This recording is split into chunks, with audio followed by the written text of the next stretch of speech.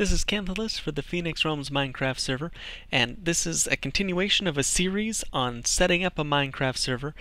And I'm trying to make it so that if you just want to catch one video, you can do that and it will actually sort of make sense, or you can follow them all along to see kind of how to set up every step along the way. So we've got iConomy with MySQL up and going, and we've got permissions in. So let's get World Edit. It's a handy one for general GM powers to go around and reshape the world. So, gonna scroll down here, download World Edit 4.4, and this particular one he has his own site. So we go off over here download that and then we're going to put that in our plugins folder. Alright, with that zip file opened up, there's all kinds of fun stuff in here. We really just need the worldedit.jar. There's a lot of great readme things and craft scripts, which can uh, kind of automate some tasks for you. All kinds of fun stuff. But for now, let's just go into the plugins folder and drag and drop over the worldedit.jar. Then we're going to go ahead and start up the server with run.bat. So that way World Edit can make all of its files.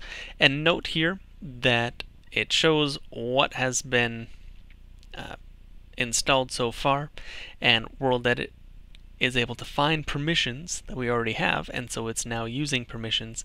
So that way, if you actually had other people on your server, you could set it so that only you have all of these grand admin powers and not just everybody. So we're going to go ahead and stop the server for now, typing in stop, hitting enter. Alright, so that's all saved up. Now going back into the plugins folder, there's a new folder here for World Edit, and here's our config file. So here you can set some limits on things. This is a very powerful plugin, and if you don't use it quite right, you can kind of break your world by like destroying the bedrock floor or something like that. So be careful with it. You can set up some of these sorts of things, like you can set up a separate log file. It's false by default. You can, um, there's a super pickaxe that will just, with one click, break any block. So you can set it on whether or not it will drop the items or the blocks that you're mining through. So if you're mining through a lot of stuff with it, it might be handy to turn that off. You don't really need a whole inventory full of sand or cobblestone or whatever.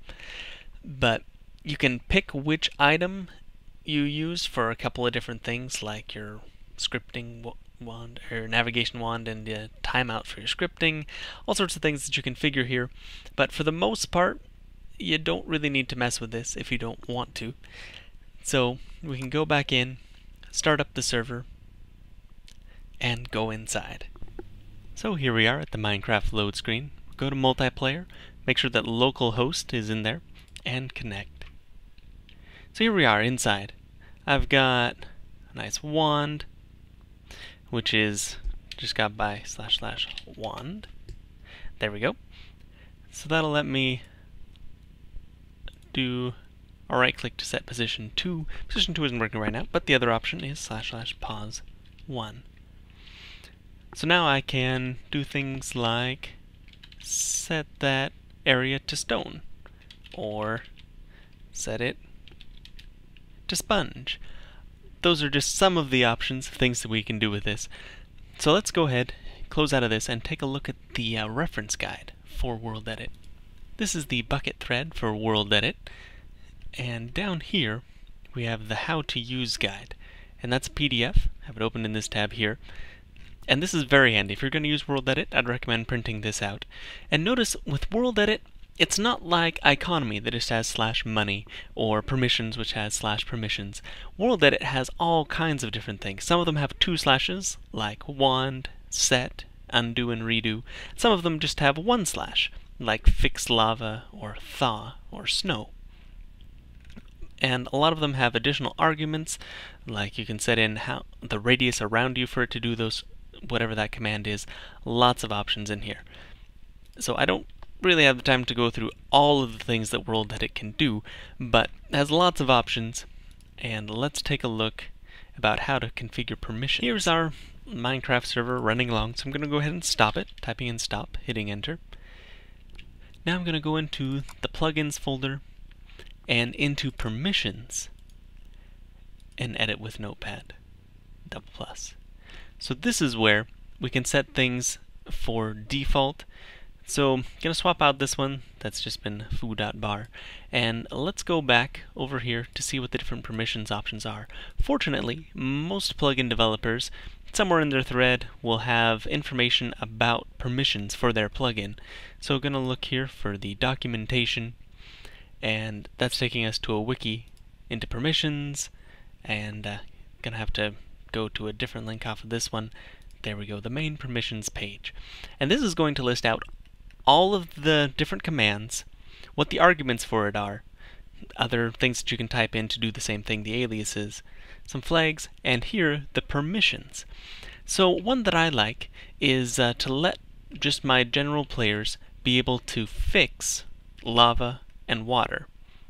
It, it's more a cosmetic thing to me, and I think being able to fix water so you don't have a little whirlpool is something that's handy if I don't have to do as an admin. So that's the permission for it here, worldedit.fixwater. So I'm going to go ahead and copy that. And in here, I'm going to put that right in here. worldedit.fixwater don't think that I'm going to need those just yet. Let me double check on that though.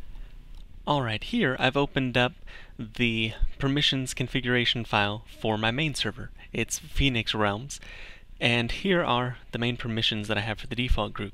So sure enough, you don't need the little quotes around it, but there's lots of options in here, like you can set up things with a star, we'll do everything after that. So I could just do command book dot star, and that would give people all the command book things, or worldedit.star, and that would give people all of the world edit commands. But there's some pretty powerful stuff in there, and I don't think I want to do that. So I'm just going to go back to our world.yml here for the server that's just right here on my computer, and put in another line. Now this is something that I'm probably going to have to say several times in several different of these tutorials, but when we do a new line, it looks like it's in the right spot, but really, when we do backspace, those are each tabs, and these YML files are very picky about that. They can't be tabs, they have to be spaces. Four spaces, to be precise. So we do one, two, three, four, three, four, and one, two, three, four. So here we are, at the right indent level. Then the dash, and we can also do world edit dot fix lava. So that way people can do the same thing with lava. And then we can go ahead and save this, and bring our server back up run.bat. There we go. Now if we actually had anybody else on this server other than me, they would be able to use the fix lava and fix water commands from World Edit, but not any of the other ones. Because some of those are pretty powerful, and I don't think I want just anybody being able to use those. So that's sort of an idea of how to use World Edit and how to get it all configured through permissions. Um, that's going to end up this video. Going to start in the next one on Command Book, another plugin from this same developer.